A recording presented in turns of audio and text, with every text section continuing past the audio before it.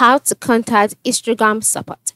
Hello everyone, welcome to today's tutorial. In this video, you would learn how you can contact Instagram support and here is how to go about it. Alright, the first step is to log in into your Instagram account just like I have done here.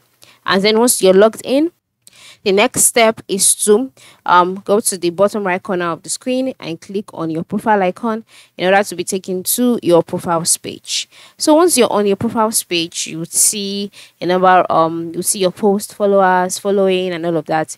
Then after that, scroll down or scroll up and then some icons will appear by the top right corner of the screen. Then click on the three horizontal lines. After clicking on the three horizontal lines on the settings and activities page, scroll down until you can see the option help help or privacy center account status. Etc so just click on help so that you can be taken to the help center. All right. And so on the helps page, you can see um, different kind of helps that you can receive on Instagram.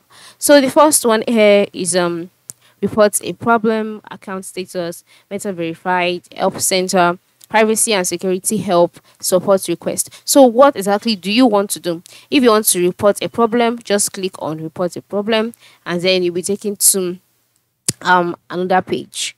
All right. I'll just follow the instructions here and you'll be directed on what to do. You can check account status. You can verify your accounts by clicking on Meta Verify. And then you can also go to the Help Center by clicking on the Help Center option. So after clicking on Help Center, you'll be taken to the Help page where you would see articles, topics that have been addressed.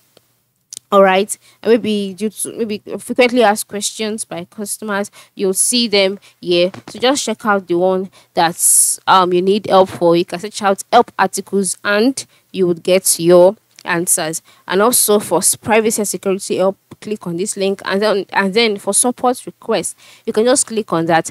And then you'll be taken to another page where you'll be able to check out your requests so far. So Instagram does not have a um customized or a specific link to the email or specific link for call or whatever.